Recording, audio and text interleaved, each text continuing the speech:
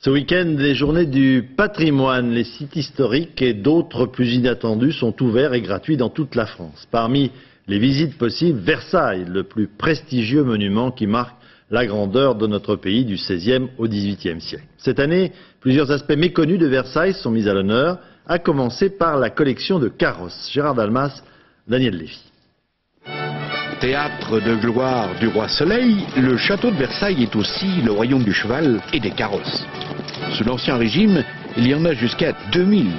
La révolution rageuse a tout détruit, sauf la berlinette du premier dauphin, l'aîné de celui qui disparaîtra au Temple. Souvenir touchant qui montre le raffinement réservé à l'enfant royal, mort de tuberculose en 1789. En ce qui concerne le confort, on voit bien sûr qu'il y avait un marchepied de cuir, euh, il y avait à l'intérieur une petite cave qui permettait sans doute de mettre la collation pour le prince. Il y avait les vitres avec le, ruban de relève vitre, des jalousies, des petites persiennes à la vénitienne, et tout l'ensemble était garni de cachemire et de passementerie de soie. Clou de la somptueuse collection, ce monstre 7 tonnes nécessitant 8 chevaux, 12 laquais, le carrosse du couronnement de Charles X, 1825, seule voiture nous restant d'un sacre de souverain.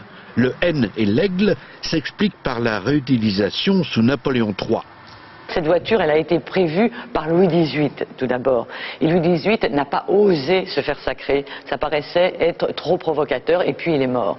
En revanche, Charles X, au contraire, dès qu'il a le discours de son avènement, annonce qu'il va se faire sacrer. Se faire sacrer, ça veut dire renouer avec la monarchie de droit divin, redonner à la France un roi. Et alors il fallait que ce soit un faste énorme pour faire oublier toute l'épopée napoléonienne. Un an avant, les obsèques de Louis XVIII avec cet énorme char funèbre qui a resservi 1899 pour le président Félix Faure, mort de sa belle mort. Champs-Élysées 1810, le cortège du mariage Napoléon-Marie-Louise. 60 berlines, dont 7 sont ici. Louis-Philippe surveillait la transformation du château en musée grâce à cette chaise à porteur. Si leur fardeau était pesant, les valets disaient qu'ils menaient une vie de bâton de chaise. Quant aux chevaux des traîneaux, ils ruaient dans les brancards. Les hivers étaient rigoureux, pourtant la course en amusait, glissant dans les allées enneigées, organisant des courses sur le grand canal figé par la froidure.